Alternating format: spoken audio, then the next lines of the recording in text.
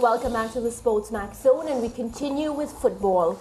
2022 Ballon d'Or winner Karim Benzema could be in line for a shock return to Qatar to play for France in the World Cup final against Argentina on Sunday. The 34-year-old was expected to be out for three weeks after suffering a thigh injury the day before the World Cup kicked off. Benzema returned to Spain for rehabilitation and has reportedly recovered fully. It's understood Real Madrid are happy for him to return and help France at the tournament. France's head coach Didier Deschamps remained coy when asked whether Benzema would return to the squad for the final.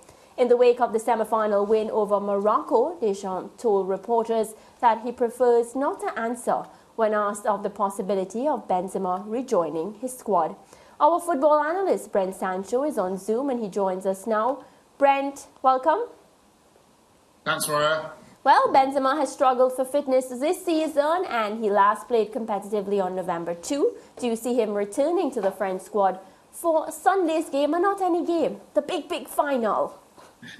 No, I, I don't see it. It doesn't make sense. I think for, for team chemistry, team morale, if I was Didier Deschamps, I'd stay clear of it. It, it does not uh, bode well. You have a squad of players that would have gotten you to this point so far uh, you bring in a Karim Benzema, albeit talented, maybe the, the most disciplined and best behaved player, and may just slide into the team. But the team chemistry and dynamics that would have gotten them to the finals will certainly come into question. There, there are a lot of players that would have played roles. Uh, we did talk about a France team that even in this, even coming into the World Cup, had their injury crisis, and even being in the World Cup, had some suspensions and injuries, uh, and they would have utilized most of the squad. I think if you bring a Benzema in now, it would certainly start to question, uh, of course, uh, the team chemistry that they would have built throughout the tournament. Yeah, missing so many key players and still making it to the final speaks about the depth of this France team, and not just any players, of course, major um, game changers they missed, and of course, they still got the job done.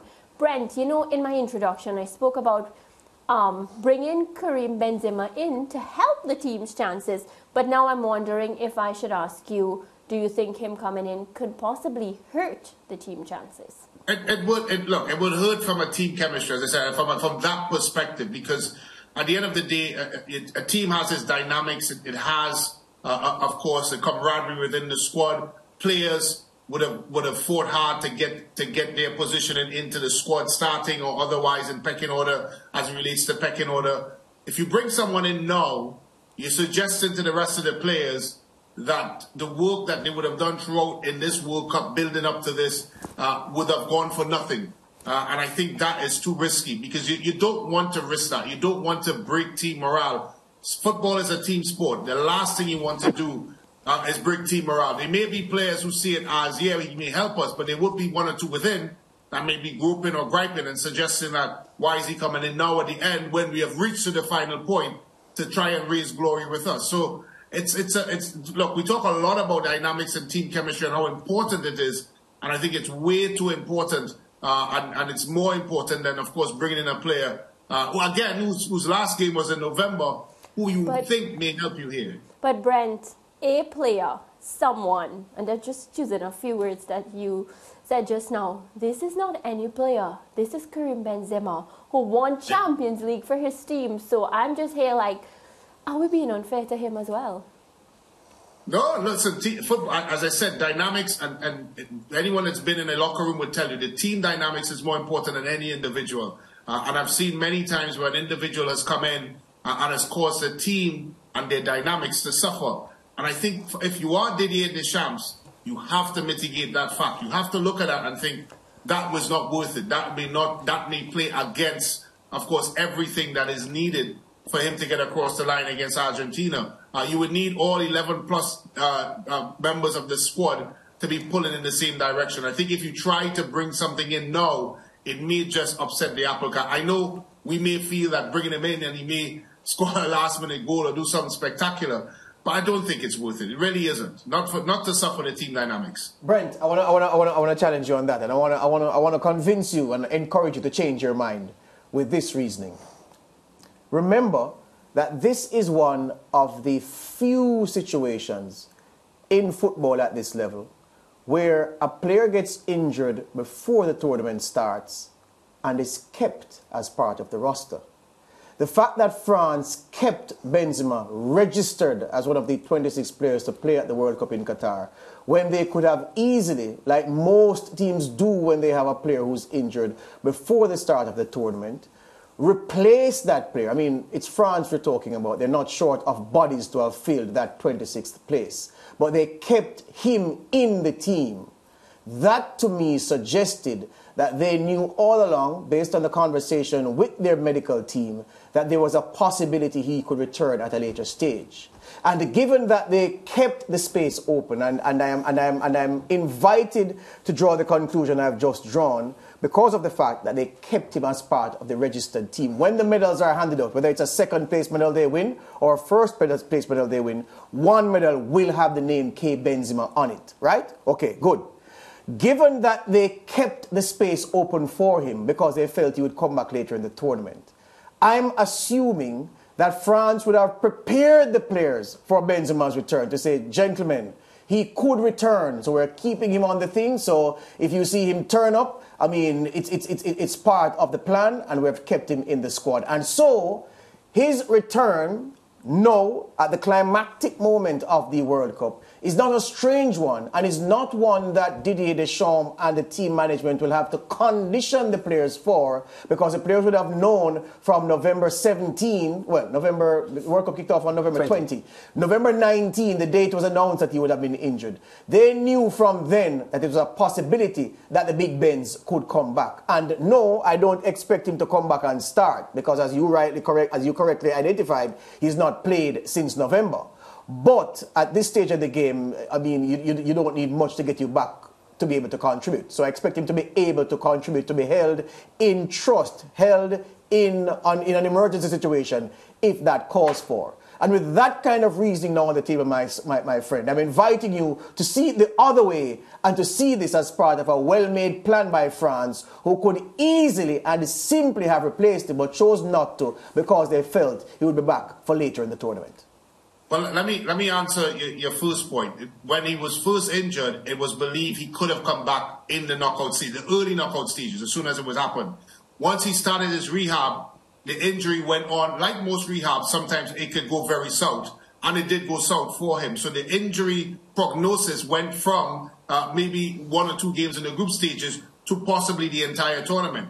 Uh, and I think, as much as I, I hear what you're saying about leaving a spot open this is the World Cup finals. And I think within the World Cup finals, every little inch, and, and look, the whole entire World Cup that we've watched so far dealt with inches, yards, and small errors and margins to victory.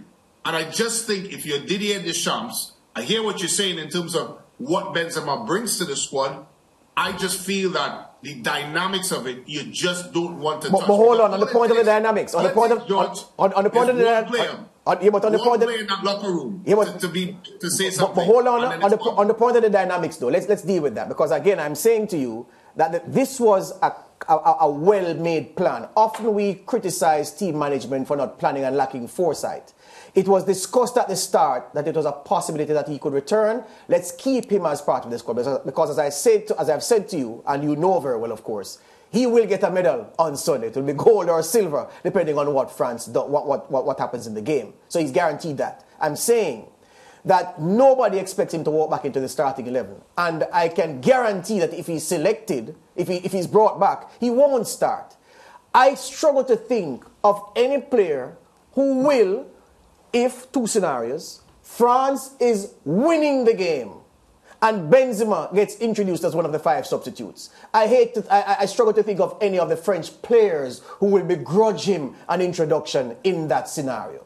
Second scenario, France is losing the game and Didier Deschamps turns, turns to him as one of the five substitutes and asks him to go and rescue the game for his country. I struggle to think of any one of those professionals who's going to say, I can't believe that he chose Benzema to come on off the, off, off the bench to help rescue the team. So I'm saying this is a cleverly and very well laid plan. Didier Deschamps now has the option and he may or may choose not to activate the option. But i want to congratulate the french team for planning this way for giving themselves the option of calling on arguably the best number nine operating in world football today. And i'm saying Brent Sancho that i think we shouldn't rule out the wisdom in bringing him back and having, having him as part of the collective because whether or not he was there in body in Qatar, he would still be among those who would be given medals for participation in Qatar 2022. I agree with the option, but again, to put context, the option was viewed as coming out of the knockout into the knockout stages, right after the group stages. As I said, during his injury, it would have extended beyond. I think the, the horse has left the stable, and that's my point. I think if you were looking at right after the group stages, George, I may entertain the conversation. But I think when you look at a final, the last game of the World Cup, you'd have problems. As much as you think players may not want to, I actually disagree. There's always going to be someone in that locker room yeah, going to look at it and Brent, suggest that it's not. It's it, what, what, Why is he in here? Brent, Brent, it should be me or whatever. You know, players, Brent, modern day players look at things but that way. But Brent, I'm and, saying that's probably that's why I would not. I, I but, it's just I hear what you're saying, but I would not. But Brent, it's just such small margins. I wouldn't touch it. But Brent, again, remember, this is not a man who's taking Mbappe's starting place.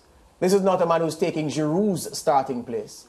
He's coming off the bench as one of the options. Are you saying that there are players who will stew that Karim Benzema is sitting on the bench like them, and if the game needs it, he is likely to come on. And even so, even so, players are unhappy about many things. The good thing about this French squad, the egos that ruined the South Africa World Cup for them when Anelka and everyone others led that strike when Raymond Domenech was in charge. That's not this French team. This French collective is different. And I'm saying the fact that this would have been explained to them at the start, Brent, and you have to work with me here, that they were told that, gentlemen, we've kept the spot open because Karim may come back to help us. And I don't know anybody in the French team would say, well, you know what? If our chances of winning the World Cup are bolstered by his return, we would rather lose without him as part of the collective than to have him as an option. I'm saying from that perspective, it seems a sensible decision, uh, situation uh, for me, for coach Didier Deschamps to say, okay, come and sit on the bench. I'll use you if I need to. The coach has the option. It's a very good option to have. I think he'd be wise to use that option, Mr. Sancho. Yeah, but George, that's that's that's the perspective that you're taking. We don't know the perspective. We don't know for a fact what was said to the French squad. We don't know, as I said, the, the injury first said that we'll be back right after the group stages. What Brent? We have no idea what was said. What Brent? My point is, at the end of the day, if I was a manager, I wouldn't touch it because it could go either way. I hear what you're saying. Brent, Brent, we don't Brent, know what was said. Brent, Brent, so you, could go either left or right. Why not, would you make such a big decision Brent, that could have an impact it's not, on how your team performs. Brent, it's not the same thing. But let me ask you this. Hmm. We are presenting the, the World Cup. I was going to say Olympics. We're presenting the World Cup. I'm slated to be the lead anchor of the World Cup coverage. I have, you are on my team, of course, as my star analyst and around go on the usual guys. Yeah? Something happens and I can't start the tournament. And somebody comes in and is leading. One of the able guys we have here leading the thing. And for the final, they say, okay, he's well and he's available. And there's a meeting to say, well, do we bring him back and ask him to present a part of the coverage or just to have him here around the team? And someone says, no, but it's going to disrupt chemistry. And guys may feel like he wasn't here at the start, so why bring him in? No, I'm sure you wouldn't say, you know what, leave Georgie out. I'm saying, Brent Sancho, there are 26. That's a different, that's a different, hold on, that's hold on, hold on, hold on, hold on, hold on. Mariah made the Brent, Brent, that's Brent, my point. Brent, Mar- Brent, Brent, Mariah no, made the point. Brent, Mariah made the point to you. We're not talking about Joe Blow. We're not talking about an ordinary player. And we're talking about a French team where the strength is also in the collective. Adrien Rabiot, the man who refused to be a part of the pre-tournament training squad at the last World Cup, has humbled himself and is now one of the leading lights for France. If he can be humble, anybody can be humble. I'm saying to you that I think Deschamps would be wise to exercise this option and keep Mr. Benzema in a glass case like a fire extinguisher break glass in case of emergency, he would be wise to have that option, that card to trump in Sunday's final. Yeah, but again, we, we are speculating, and that's my point. We don't know what has been said in the squad. You know, I want to add another piece to this to this jigsaw as well. You know, I listened to Julien Laurens, uh, of course, the famous French uh, reporter on football, and he mentioned that the, the English translation to what was said by Didier Deschamps is incorrect. He's saying that basically Didier Deschamps chased the question out the room because as far as he's concerned, it's a non-starter. They don't see it from where the French journalists and within France as even a possibility. And it goes back to that same question of chemistry. Do you tempt faith by going down that road? And I think that's that's where I am at. I hear what you're saying. It has nothing to do with the player's ability and capability. I just think that the team dynamics, I hear what you're saying about the possibility of the team dynamics, but we're not there, and I'm not sure how 100% it is. My point is, I just don't think it's the right time and place to even tempt faith. That's what I'm. That's where I'm coming from because I don't have the fullness of what is going on within the French camp. So from where I sit, don't tempt faith. Don't cross the line because seemingly, if if of course Julien Laurens is suggesting that Didier Deschamps is not even entertaining the question, that means that there's some way along the line of understanding that it does not make sense to bring him back in the squad. I hear maybe if I was coaching or managing Trinidad, I may look at it differently, but I just feel that, and, and again, that because I would have the entirety of the story. But I go back to the fact that this was not a long-term injury. This was supposed to be him coming back in the round of 16, I believe. And it didn't happen. So maybe that's when the door was shut for Karim Benzema. And now that he's fit in the final, the door was already shut back then. Mm. Yep, I'm working on one of my best tools. I hear you on that, my friend. Yeah. Right? Yeah. yeah. That's Brent, it. Yeah. Brent, thank you so much. We'll chat again soon. I'll see you in Trini. it is definitely, right. Take care, guys. All right. You know, the, the key here before we wrap the segment, though, is that um, Benzema is a goal scorer. That's what he does. France scored seven goals in their three knockout games. They scored six goals in their three group stages. So they've been getting the goals. And uh, I think that the coach should be comfortable with what he has. I would say that for anybody there, except man like Karim Benzema. There, there is no way I'm going into the biggest game without all the tools that are at my disposal. Absolutely no way. No way. All right, let's take a break now.